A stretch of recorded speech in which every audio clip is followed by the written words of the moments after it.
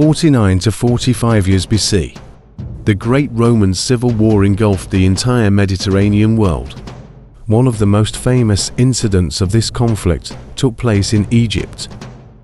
Julius Caesar's opponent Pompey fled to Egypt, where he hoped to find safety and support with the Ptolemaic dynasty. Hoping to enlist the support of Caesar, Ptolemy's regents, the eunuch Pothinus and the generals Achillas and Sempronius captured Pompey and executed him. Caesar arrived a few days after the execution of Pompey himself. These events led to war in 48 to 47 BC, and Caesar himself found himself under siege of Alexandria itself.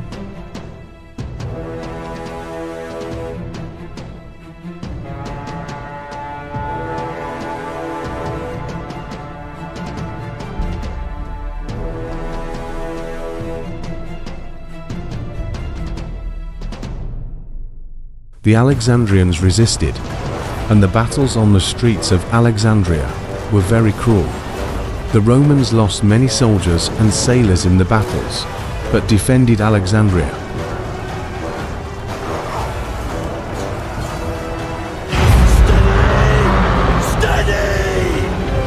When the siege reached a stalemate, the Ptolemaic forces demanded that Julius Caesar release Ptolemy, the 13th Auletes, who had been in Caesar's custody the entire time.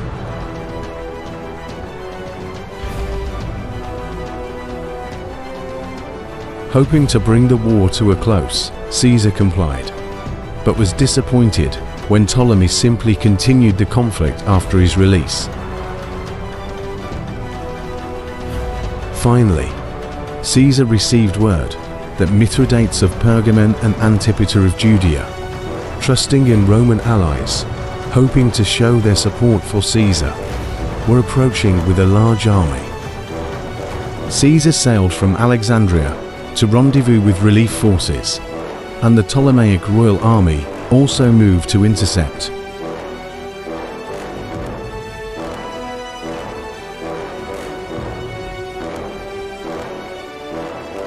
The two armies clashed at the Battle of the Nile in 47 BC.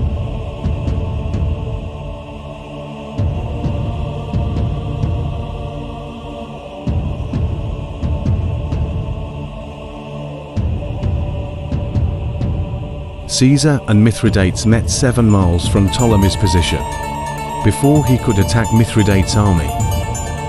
To get to the Egyptian camp, they had to ford a small river.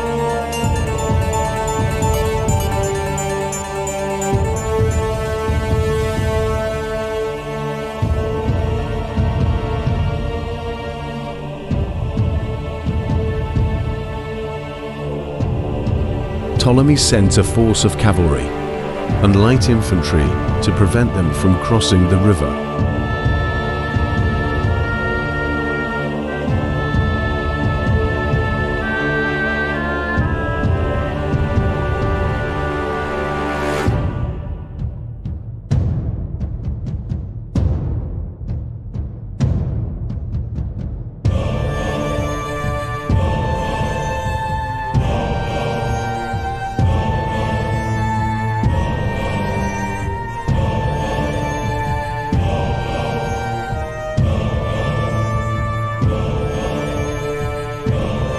Unfortunately for the Egyptians, Caesar sent his Gallic and Germanic cavalry to wade across the river ahead of the main army. They passed unnoticed.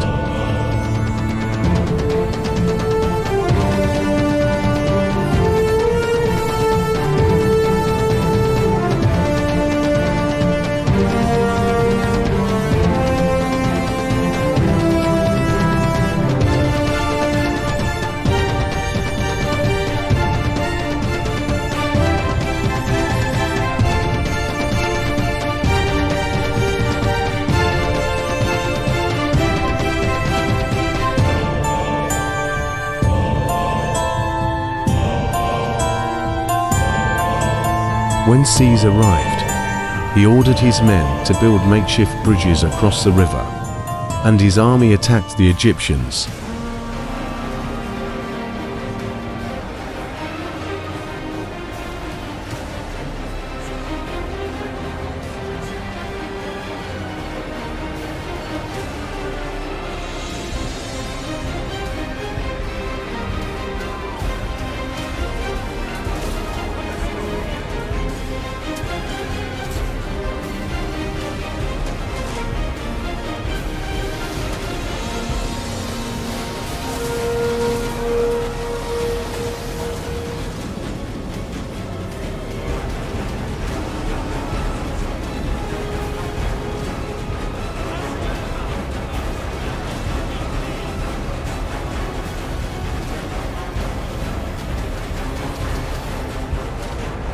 The opposing forces exchanged a hail of arrows and spears, as if arrows and spears hit one and the other side of the wars.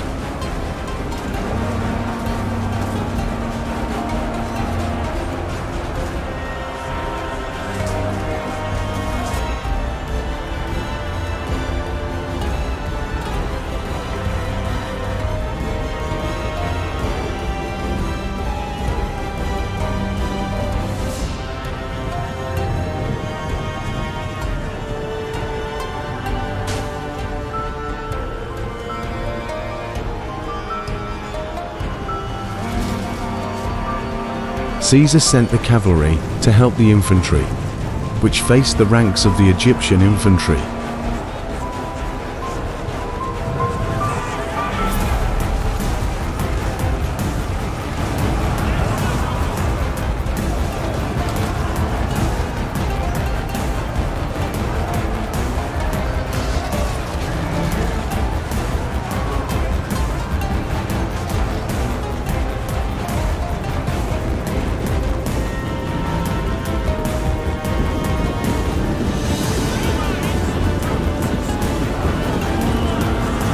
But at that moment, Ptolemy sent a detachment of war elephants to the underworld, which destroyed the ranks of the Romans and knocked down the cavalry. The battle became cruel and terrifying.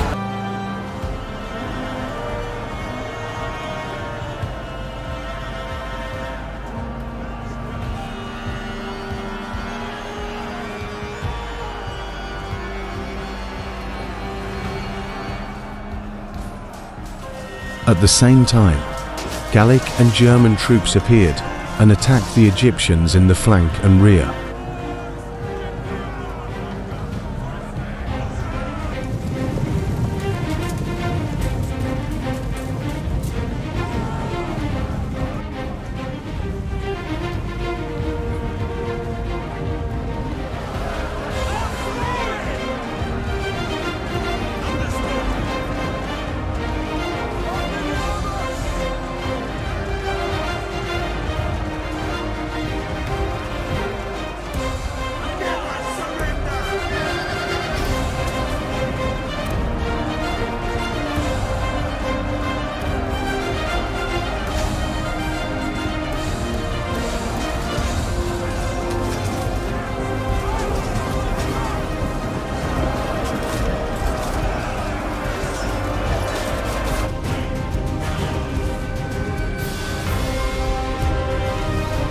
Soon a detachment of cavalry and light infantry sent by Ptolemy was defeated by the Romans.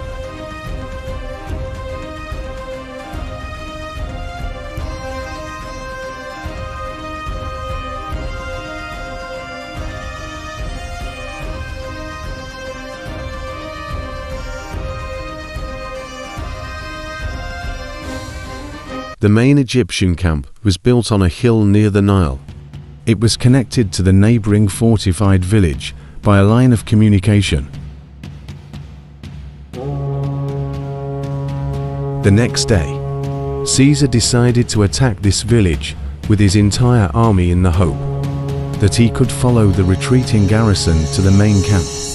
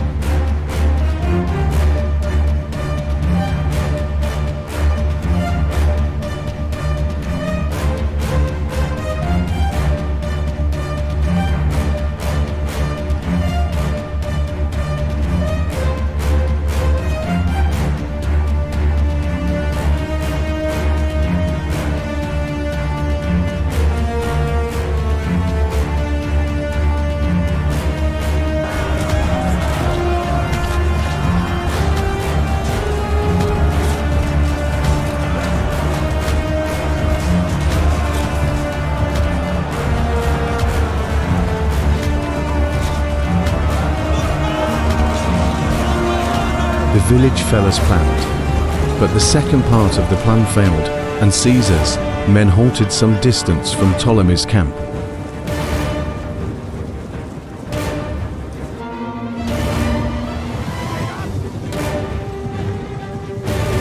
Then he tried to attack from two sides, from the plain, and along the abyss between the camp and the Nile, but both attacks were unsuccessful.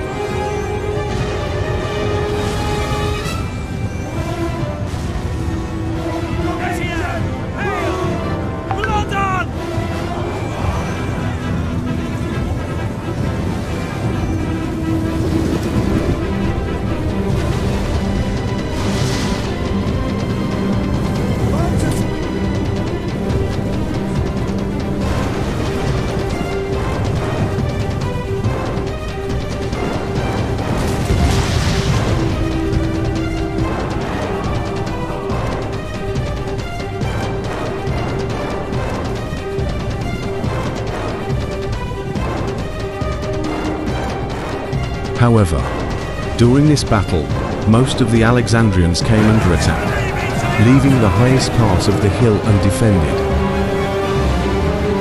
Caesar sent a small detachment under the command of Carthalo, to attack this part of the camp, and they soon succeeded in overwhelming the few defenders remaining there.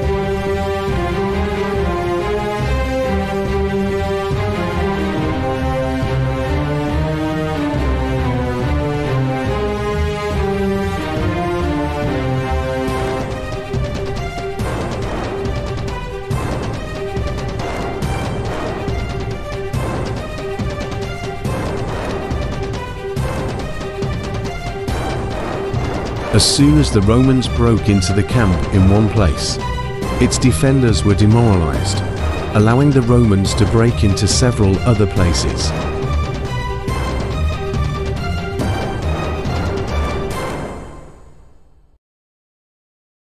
The Alexandrians tried to flee, but many were crushed by the moat that surrounded the camp, while others drowned in the Nile.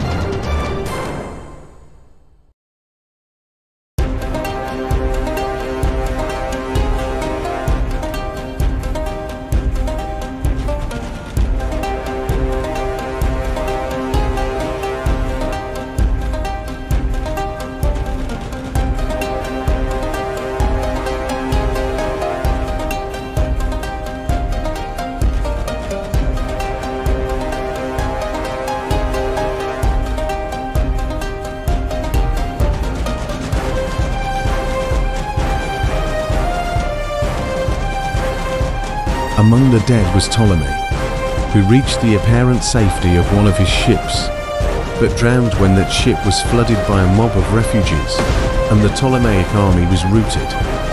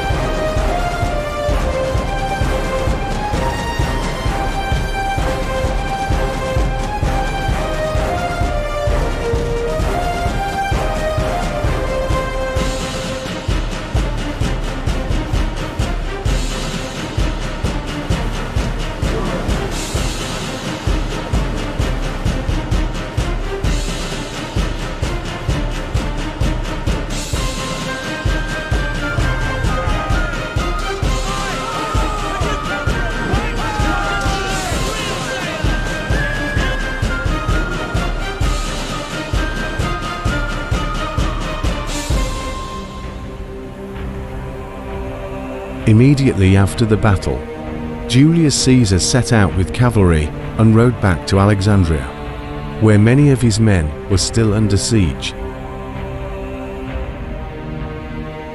As word of victory spread, the remaining Ptolemaic forces surrendered.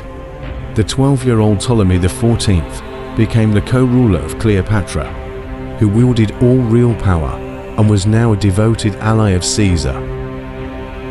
Ganymede was executed, and Arsinoe was exiled to the temple of Artemis at Ephesus.